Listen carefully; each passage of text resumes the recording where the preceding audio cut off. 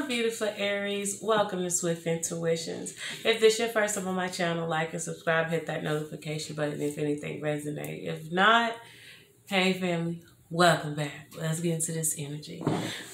Most High, what is the energy coming for our Aries at this time? What is the energy surrounding my beautiful, powerful Aries?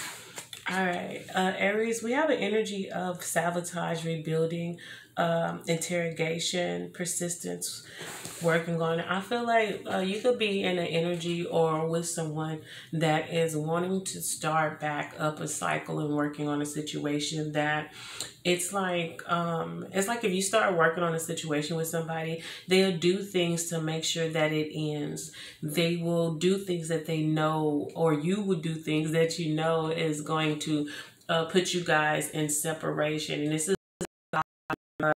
that you and whoever this this person is it's like a keep going back and forth. I feel like uh at this point you want to work on a situation or in the process of getting it up.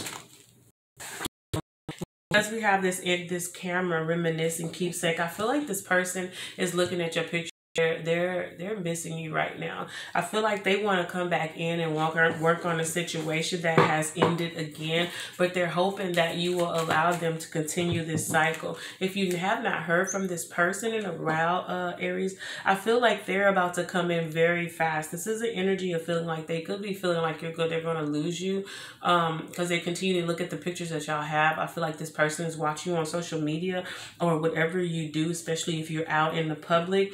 Uh, uh, they want to transform the situation at least uh, as the as the time be right now at, at this point in time because I feel like be on or vice versa you could be off and on at times Aries.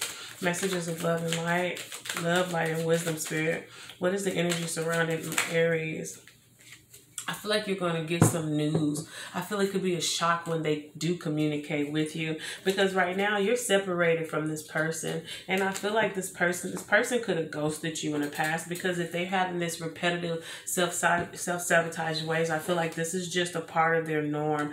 Uh, this person does love you, but I feel that if they're not healed, so it's like they're coming in with this passion. They're missing you sexually, uh, Aries. But the truth is, Spirit is saying that they still still are indulging in in uh, other activities. And right now it's like an energy of they want to come in and love bomb you. I believe you are going to get a call from this person very very soon. Um, them just letting you know that they're thinking about you and they miss you and they want to see you. This person is going to want to have your baby i mean want to sleep with you. And right now this is the chaser chaser and codependent relationship fear of a like this person.